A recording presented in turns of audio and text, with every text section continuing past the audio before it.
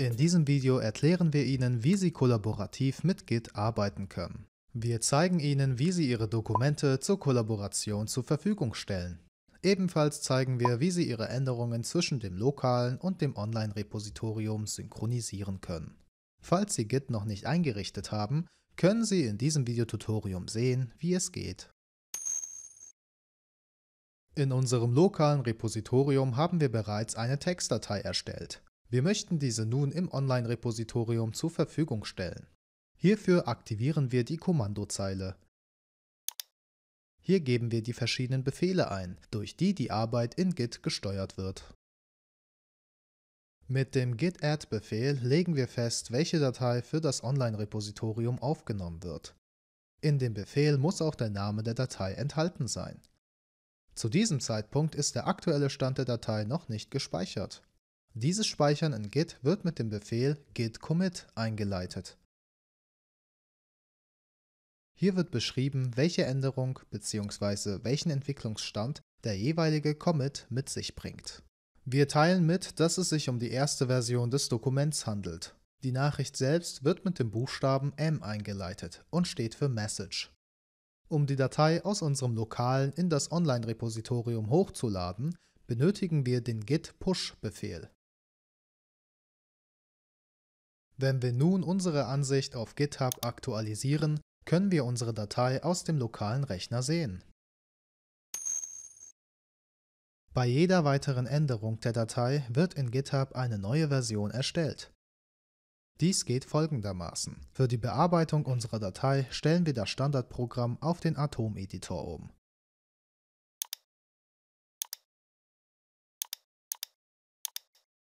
Wir nehmen im Editor notwendige Änderungen vor und schließen diesen wieder. Die vorgenommenen Änderungen sind noch nicht im Online-Repositorium registriert. Das heißt, das lokale Dokument und das auf GitHub stimmen nicht überein. Die Synchronisierung der Dokumente führen wir mit Hilfe der bereits gezeigten Befehle durch, also add, commit und push. Es wird empfohlen, den Repositoriumstatus nach jeder Eingabe zu überprüfen Hierfür geben wir den Befehl git status ein.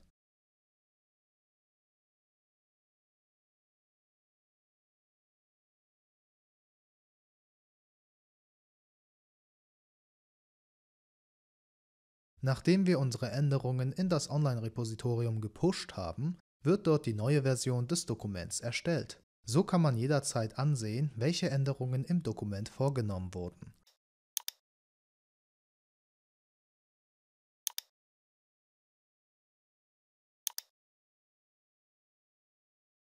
Falls eine der Änderungen schief geht, kann man die alte Version wiederherstellen. Diese Änderungen können aber nicht nur im lokalen Repositorium vorgenommen werden, sondern auch online. In diesem Fall läuft die Synchronisierung zwischen den Repositorien etwas anders als zuvor beschrieben. Nun zeigen wir, wie dies geht. Mit einem Klick auf den Titel des Online-Dokumentes wechseln wir in die spezifische Ansicht. Wir klicken auf den Bearbeiten-Button und können nun den Text sowie den Titel bearbeiten.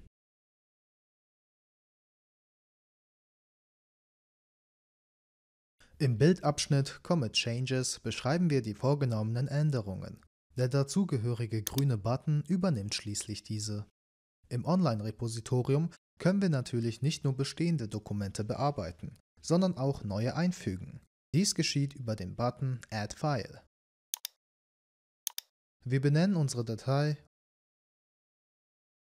und beschreiben wieder den Commit. Auf lokaler Ebene können wir die Änderungen des Online-Repositoriums mit dem Pull-Befehl übernehmen. Das öffentliche und lokale Repositorium sind nun miteinander synchronisiert. Wir haben heute vier grundlegende Git-Befehle kennengelernt. Add, Commit, Push und Pull. Mit git add legen wir die Datei fest, die in das Online-Repositorium aufgenommen wird. Mit git commit speichern wir die durchgeführten Änderungen und erzeugen somit eine neue Version des Dokumentes.